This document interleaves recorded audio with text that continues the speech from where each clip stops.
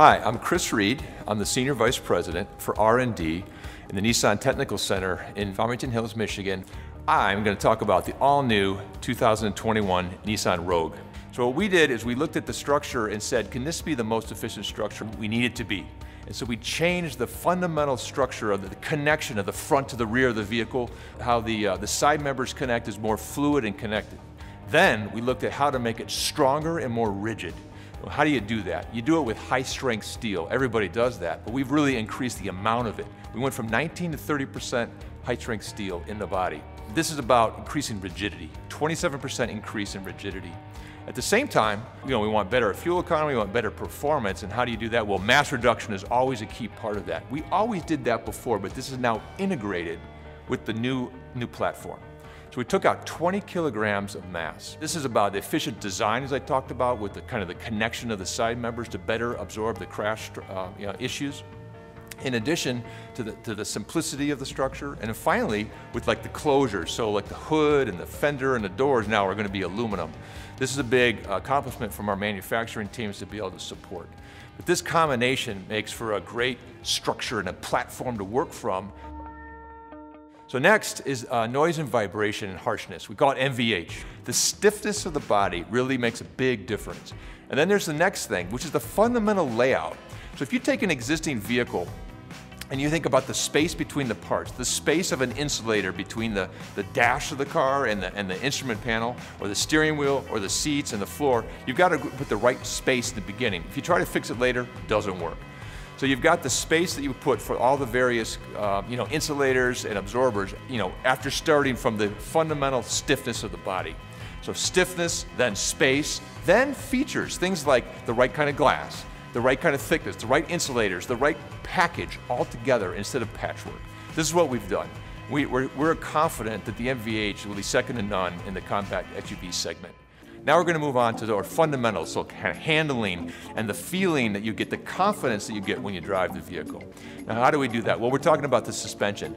Again, we, we, we spared no expense. New suspension. What do we do? Front and rear. First front. So front, we went from our kind of a conventional layout, a subframe layout that we had, where it was soft mounted. We've changed the whole concept, increase the number of mounts from four to six, and go from a soft to a rigid mount. This is really to give the confidence and the secureness in the handling. In addition to that, we have an all-new rear multi-link suspension. This combination will provide the best balance and, and confidence for the driving experience. In addition to that, it's about, now I talk about a driving experience, well, how do you feel that? You feel it through the steering wheel, right? The confidence and the, and the, and the stiffness of the vehicle as you, are handling, you also feel it through the steering wheel. So that we've taken that now down to the, we call rack-mounted EPS, electronic power steering. This is now for better for precision. It's good for the, the customer's feeling of steering corrections, less steering corrections. Um, and it's a, it's a more uh, rigid mount system. This also allows us to enhance the performance of the ProPilot Assist system. This is really key, right? This, the confidence that you get from that system is about your perception of how it keeps the lane centering. So precision lane centering is a key benefit of the uh, rack-mounted EPS, electronic power steering system. Our all-new Rogue here has, uh, has a new engine as well, but this engine is common with the Altima, and it's a 2.5 liter DOHC inline four-cylinder engine. So we're getting 181 horsepower. This is plus 11 from the previous model. The torque is up 5 foot-pounds to 181 foot-pounds. This is that combination of everything though, right? It's the stiffness of the body, it's the mass reduction of the body, it's the new engine, and then we finally link that to the transmission. This is the full package that's eventually going to give us the fuel economy that we're searching for. So we have this new, um, new system called Vehicle Motion Control. We're going to say VMC. So this is uh, working in conjunction with our intelligent all-wheel drive system and including things like the new drive mode selector. This is something we noticed where we wanted to improve the snow performance, the sand performance, but this is all about focused performance when you need it. This is what the drive selectors allows you to do. What's unique about it? It's about independent four-wheel control.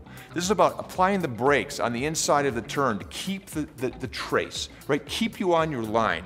Then when you're coming out of the turn, you're getting, you feel a little spunky, right? Hitting the gas. Well, that's like understeer problem, right? You're coming off your line. No, this is really applying the technology to keep those lines. And other things like active engine braking, uh, kind of bounce control, where you can actually control the brakes to keep it stable. This is about your confidence and feeling and connection to the vehicle on the road. So now let's talk about the all-wheel drive system. uh, we have a direct coupling all-wheel drive system. This is really cool because we talked a lot about, we kind of evolved our all-wheel drive system. This is really from the past, which was like a mechanical system that would detect slip and then switch to all-wheel drive, the ratio, right? We had a continuous ratio of, of front to rear balance. This is the different. This is about using the inputs across the, uh, all the, the vehicle, about speed, conditions, um, kind of inputs, steering inputs, and make a, a decision like electronically to apply the, the, the, the all-wheel drive based on those conditions. So it really becomes from kind of a triggered uh, re reaction to kind of an anticipated reaction. So anyways, it's a smarter system. It's really gonna, it's gonna work. As a package, this is really gonna make for a great driving experience and give you, the customer a lot of confidence. I just wanted to give you a high level view of the new Rogue all the engineering improvements, this is going to be amazing. They're going to be in the background, but the customer is going to have an amazing experience. Go to nissanusa.com. Thank you for watching. Enjoy the vehicle. Can't wait for you to drive it.